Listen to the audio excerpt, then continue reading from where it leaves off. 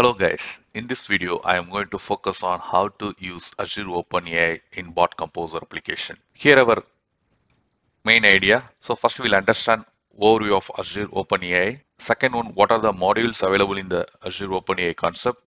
Third one is we focus on the particular model GPT-3. This is a famous model now, Chat GPT-3, that concept. Fourth one is to access this module, you need the access rights in the Azure portal. So for that you have to apply the license.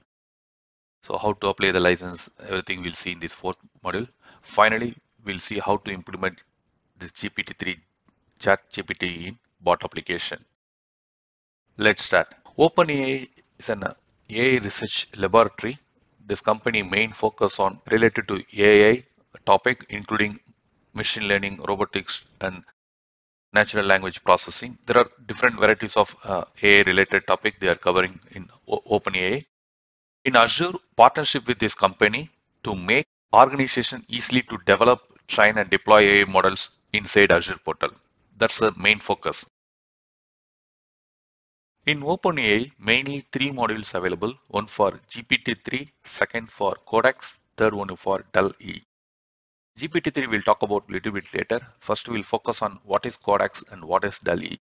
Codex, the main purpose, it's translate natural language to code. For example, if you used Git, GitHub Copilot, write the function label, let's say add two numbers, then it automatically suggested some coding standard to implement this feature. If you use tab, then automatically the code has been inserted. This is an example for the codex. Based on your command or based on your request, it will create or edit some images let's example Microsoft Designer, it's based on DALL-E only. So as I said earlier, our focus is completely GPT-3. So we'll focus on this topic, GPT-3.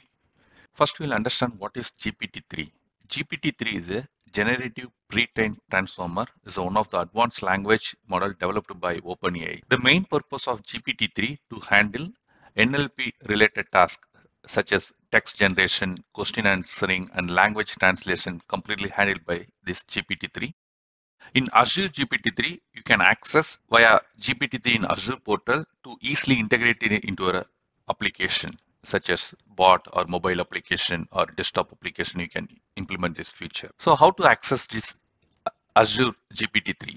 First, you have to apply the license to access Azure OpenAI in Azure portal. Once you fill the form it will take some couple of days or maximum 10 days you can get the access rights based on your scenario. So once you license get approved you have to go to azure cognitive service. Under that you have to select the openai to create the resource.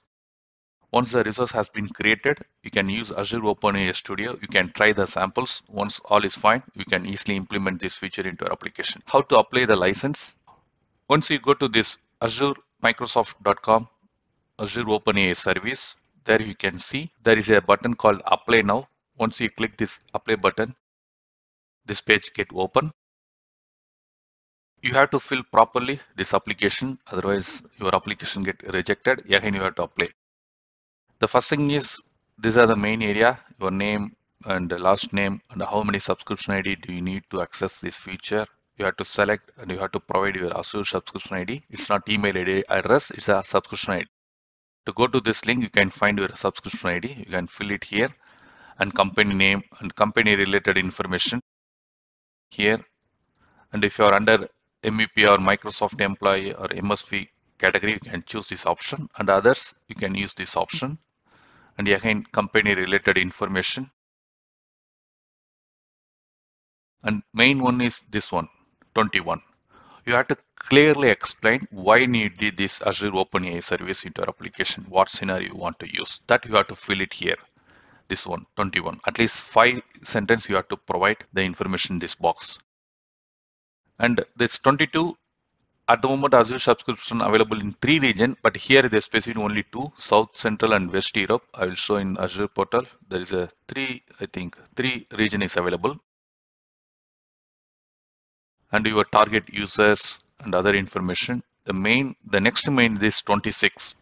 Here you have to fill the information, okay, in which scenario or which application you are going to use your Azure OpenAI, like conversational AI or such or code based. We see no three modules. one for GPT-3 and Codex and other one for Dell E.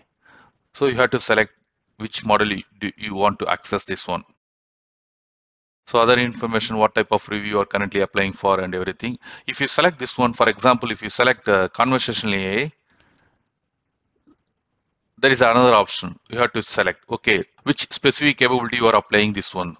So you have to carefully select like search also. If you select search, then based on your selection, automatically the next question will be added here. After fill the required information, you have to submit. It will take some days to get the approval. Let us assume you get the approval for access this OpenAI service. After that, you have to go to your Azure portal, Cognitive Service. Here you can see Azure OpenAI. The Azure OpenAI, you have to create the resource like how you are cre creating the resource for other service, let's say language service or Q&A maker. The same you have to create it here. So use the create button. Your subscription you have to select a resource group and region. So as I said, three region is available, one for East US, South Central US and Europe. And name of your resource, pricing tier. You have to choose standard only. So once you selected and create that, here I have created one resource called delete demo. It's like normal other Azure Cognitive Service only. You can find the key and endpoint information, model deployment information, there are other cost analysis, everything available here. Next, go to Azure OpenAI Studio. Here we can try our samples. Once our samples is fine, we can implement this feature into our application.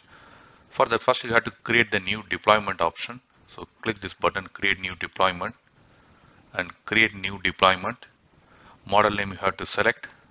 So there are different varieties of models available like this is a text-based natural language conversion and search-based and other information. I go with this one text-based text DaVinci 003. My deployment name demo like open AI pod demo. Create. Deployment successfully created. Next, open in playground. So our deployment and examples also provided here.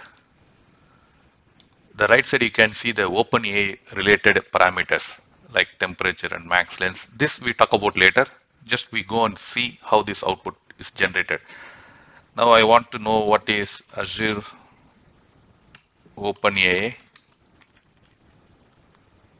Azure OpenAI. This generate button. So this time it's communicate to Azure OpenAI service and generate the answer for this one. So some information. You go to this V code. Here you can have the option how to implement in your language. Like for example, if you're a Python developer, this is a sample code like that JSON format and you want to communicate to HTTP, you can use this option and this is a HTTP related communication information. So the next step, I'm going to create one bot application. From there, I'm going to connect this service to get the results. In bot framework, I have created a new project called Azure OpenAI GPT-3 from this bot, we're going to communicate to the Azure OpenAI. For that, I'm going to select the unknown intent. For this scenario, let's assume your bot handling the flight and the weather information. Other than that, user send information to your bot.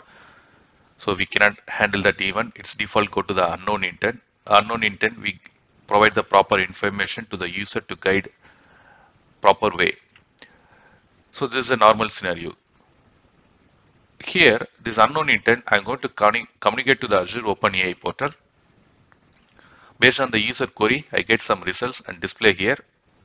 We can send information also. Here, this is the information I'm thinking you are looking for like this, but I'm not able to handle this information like that. We can provide that. So this is a scenario. First, I'm going to connect to Azure portal for that. Uh, sorry, I don't get this intent. I know I don't want. I disable this one. So I'm going to add a new one add access external resource send an HTTP request. So here we have to pass the URL and method is post. We have to select it. go to here just copy the URL name this is a connection URL so this URL I passed here. And the header. First header is a content type. So I select this one. It's JSON so application slash JSON next header. Key we have to add it. App key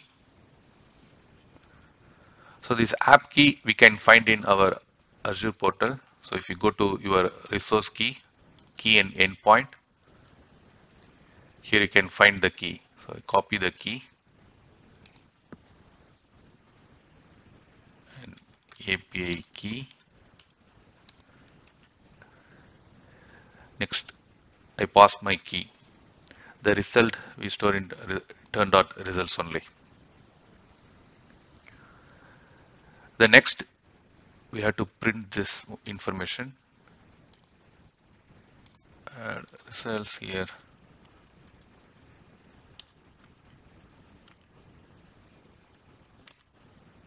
Like this.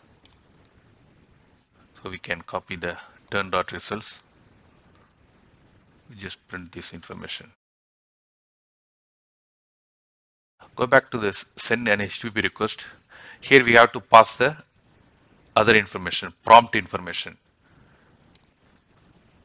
so here you can see this is our prompt information the prompt for our scenario user information. So we have to pass the user uh, query as a prompt. So other information we have to fill it. So I can go to here, composer, create manage property, set a property. So I'm going to create a new property. This property called user dot prompt. So user dot prompt. Next, go to again here. We have to copy complete information. Go to composer, change this one to object and paste all the information. So I just remove the default prompt information. Instead of that, I'm going to pass turn dot activity dot text close this one and slash n slash n just one n also fine slash n and tl semicolon dr like that I provide so this user dot prompt I'm going to pass into the HTTP request body statement here that's it. Now we'll start the bot. Open web chat.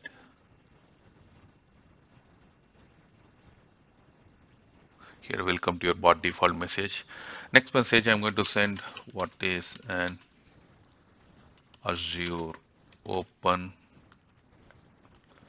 Open AI.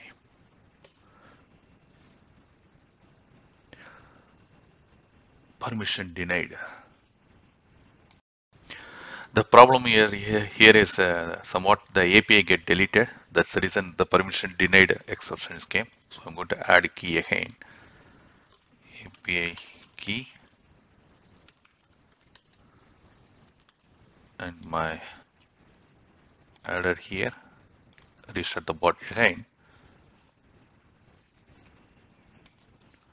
Open web chat restart the conversation. What is an open AI? Here you see we get the results about our request. So the header information, content information. Our main output this one choice. Here you can see text and the open is some information available.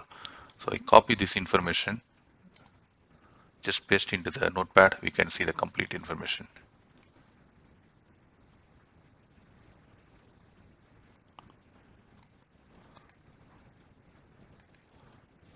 Copy notepad just paste it. So here our output. OpenAI related information